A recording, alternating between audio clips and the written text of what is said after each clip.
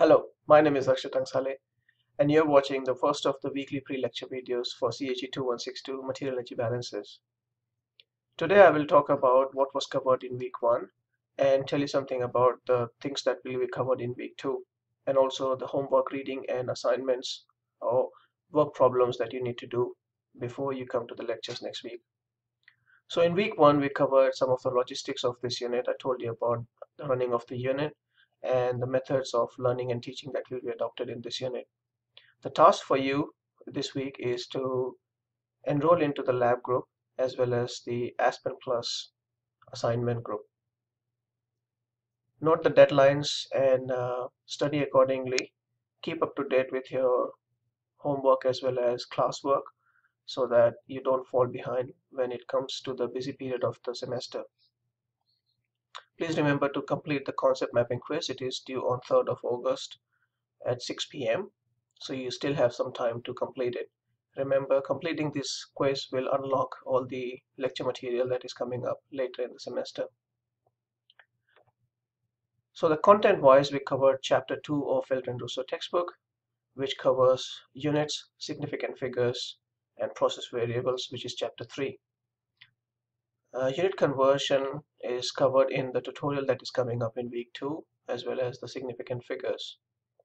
Process variables uh, is an introduction to material energy balances and as such does not have any tutorial based on it. You will be applying that in chapter 4.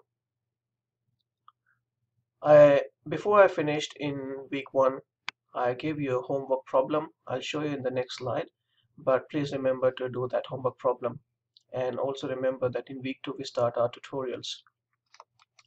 So here's the homework problem that I gave you at the end of last lecture and it's on conversion of a composition which is given on mass basis and you need to convert that into mole basis.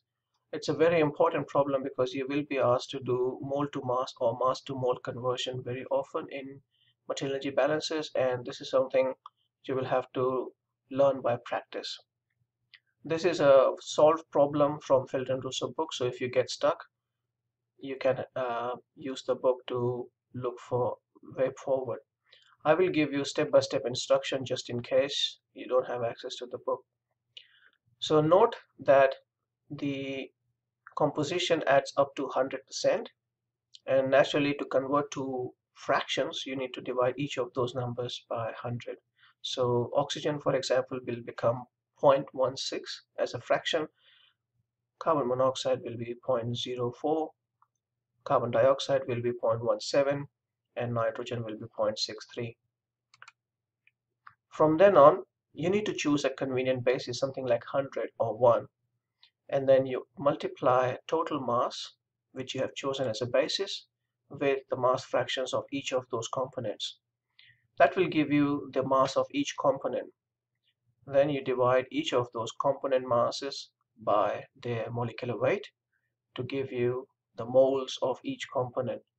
Once you have the moles of each component, you add up the total moles. That gives you the, the total moles that is in the system. And then you divide each of those moles of each component by the total moles.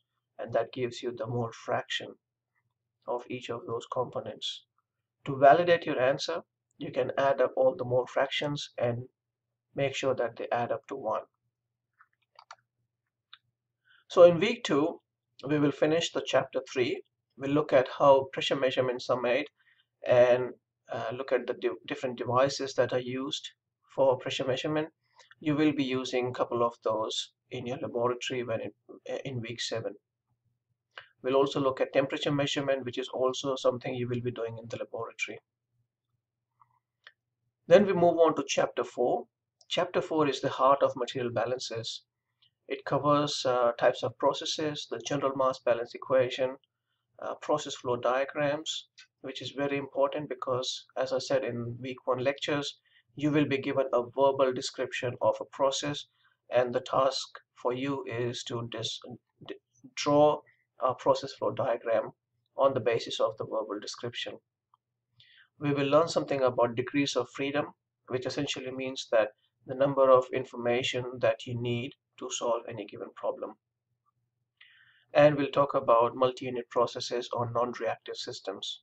So we'll start off our material balances on single unit non-reactive processes and then go on to do multi-unit non-reactive process and then in week 3 and 4 we'll go on to do single unit on reactive processes and multi-unit on reactive processes. So the complexity goes um, increases as we move forward into weeks 3 and 4. So week 2 is a very important week because it's the start of material balances and the foundation is laid in this week.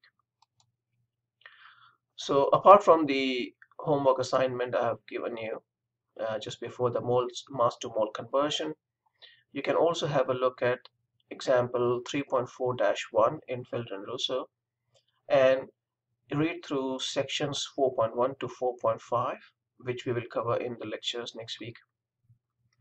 Thanks for watching the video and I hope you come prepared for next week's lectures. I'll see you then. Bye bye.